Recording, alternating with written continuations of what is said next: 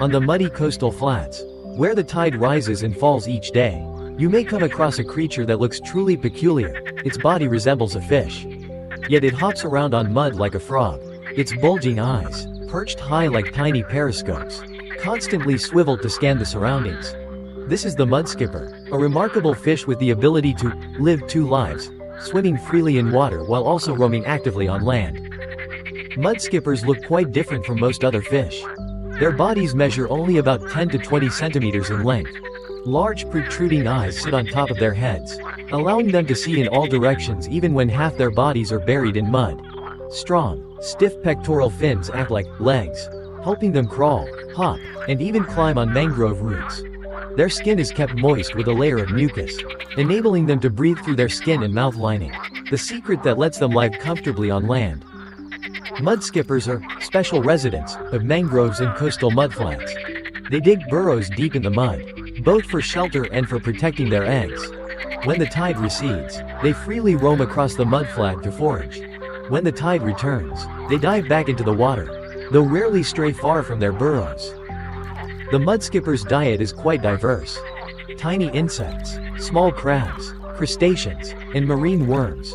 Algae and moss growing on mud or tree trunks. They often crawl with their fins and scoop up food with their mouths, acting like cleaners of the coastal ecosystem.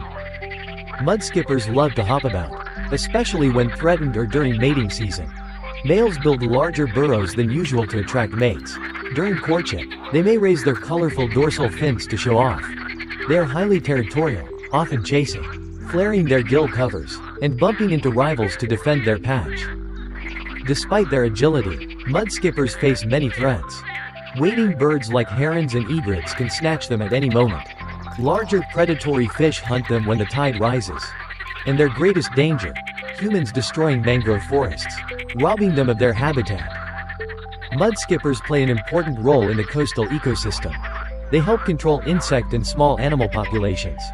They serve as food for many bird species and other predators. By digging burrows, they mix oxygen into the mud, improving soil quality in mangrove forests. The mudskipper, the walking fish, is a living testament to the wonders of evolution. Dwelling where land meets water, it embodies resilience and extraordinary adaptability. Every splashy leap on the mud and every small burrow along the shore helps maintain balance in the coastal ecosystem. And we, humans, must cherish and protect this special fish and the mangrove forests they call home. So that nature may always keep its marvels alive.